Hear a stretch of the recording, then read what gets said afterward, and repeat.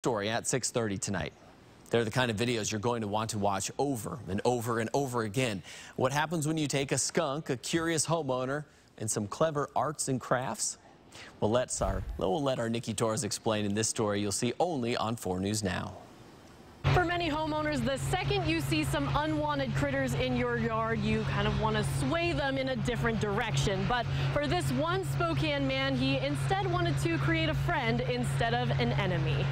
Just when you think you've seen it all, you see a skunk in a kissing booth. Comes out here and he comes, he makes a little route, comes through both my bedroom windows, and he make a little stop uh, at the box now to sniff the stuffed animal or have a snack. It's like Snow White's woodland buddies, only it's not in the woods and this isn't Disney. It's in this man's Northwest Spokane yard.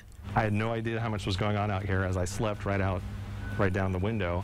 Nick Brommer started noticing a family of skunks a few weeks ago, and each night they'd get more and more comfortable around his home. When he started coming around my bedroom window every night, um, that's when he was getting really close, and I thought, I need to be friends with that skunk.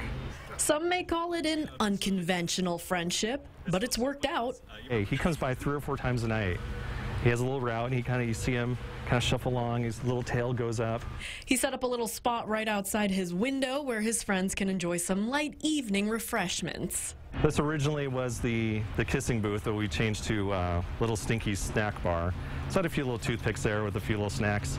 There he is, on Nick's wildlife cam, coming and going as he pleases, making friends with a stuffed animal, hosting him in the booth. Came by and he ate the little snacks first, and then he came back later in the night and was looking for more and actually grabbed his little skunk friend out and pulled him out and looked for more. He thought maybe he was hiding him. I don't know.